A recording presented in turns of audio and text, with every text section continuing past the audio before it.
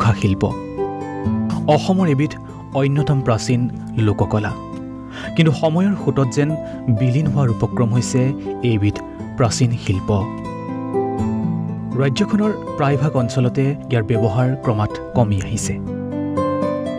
ইয়াৰ বিপৰীতে এগৰাকী ব্যক্তি আজিও ব্ৰতী আছে প্ৰাচীন মুখা শিল্প আৰু ভাস্কৰ্য শিল্পক জীয়াই ৰখাৰ কামত। প্ৰচাৰ বিমুখ এইগৰাকী ব্যক্তিয়ে নিজ গৃহতে নিজা প্ৰচেষ্টাত কণ কণ শিশুক দিছে মুখা বনোৱাৰ প্ৰশিক্ষণ। নিৰ্মাণ কৰিছে গুৰুআসন জয় বিজয় মূৰ্তি। লখিমপুৰ জিলাৰ বিহপুৰীয়া ৰাজহ চক্ৰৰ অন্তৰ্গত এক নম্বৰ জকাই পেলোৱা গাঁৱৰ শ্ৰী শ্ৰী নগৰীয়া সত্ৰৰ সত্ৰীয়া মহানন্দ মহন্তৰ হাতৰ পৰশত প্ৰাণ পাই উঠিছে বিভিন্ন দেৱ দেৱীৰ মূৰ্তি আৰু বাঁহ বেতৰ মুখাই।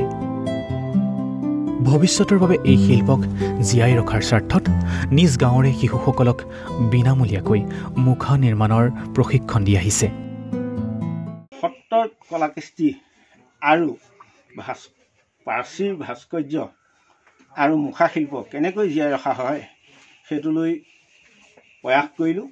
কৰি মাজুলীৰ বাদে আমাৰ ইয়াত আৰু তেনে মুখাশিল্প নাছিল সেয়ে লৈ মাজুলীলৈ গৈ এদিন মুখাশিল্পৰ বিষয়ে অলপ বুজ ল'লোঁ।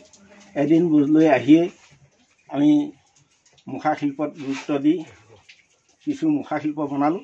বনোৱাৰ পাছতেই এই কণ কণ শিশুসকলো মোৰ কাষ চাপিলে যে ছাৰ আমিও বনাওঁ কেনেকৈ শিকোঁ? আমি এই তেওঁলোকৰ অভিভাৱকসকলেও ক'লে যে আমাৰ ল'ৰা ছোৱালীবোৰ একেবাৰে স্কুল নাইকিয়া অহাত কিবা হৈ গৈছে।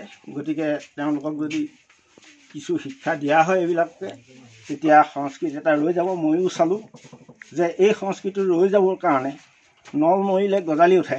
এই গজালি কথা কণ কণ শিশুসকলক প্ৰজন্মৰ যিসকল শিশু আছে সেইসকলক যদি এইবিলাক দি থৈ যাওঁ তেতিয়া ভৱিষ্যতে এই সংস্কৃতিটো ৰৈ যাব।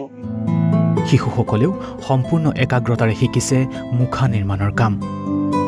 অসমীয়া সংস্কৃতিৰ এই অন্যতম শিল্পভাগ ভৱিষ্যতলৈ জীয়াই ৰখাৰ স্বাৰ্থত তেখেতৰ এই প্ৰচেষ্টা। ভৱিষ্যতে সহায় সহযোগ পালে অসমৰ অন্যান্য প্ৰান্ততো মুখা নিৰ্মাণৰ প্ৰশিক্ষণ দিবলৈও সাজু মহানন্দ মহন্ত। নাৰায়ণপুৰৰ পৰা চন্দন শইকীয়াৰ প্ৰতিবেদন ঈশান নিউজ।